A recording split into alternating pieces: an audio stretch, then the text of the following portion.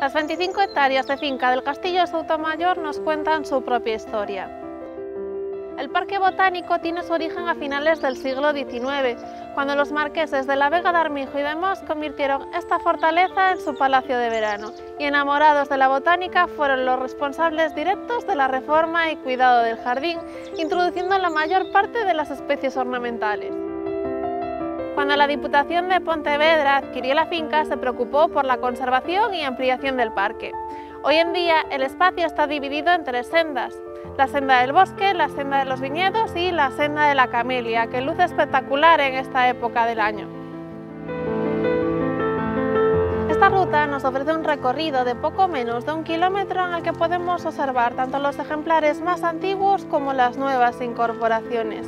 Un museo vivo que cuenta con centenares de camelias de diferentes especies acompañadas de árboles de gran porte, tres de ellos incluidos en el catálogo de senlleiros de la Junta de Galicia. Aquí en el comienzo de la senda podemos ver los ejemplares de Camellia reticulata, escogidos por sus grandes flores para formar este hermoso corredor de bienvenida.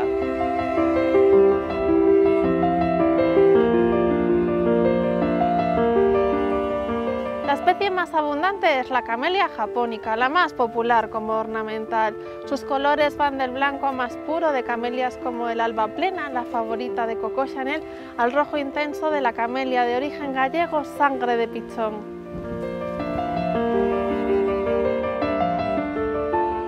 También contamos con cultivares de camelias asanqua que dan otoño flores aromáticas y de otras especies menos conocidas como la camelia guavisuke que también es olorosa.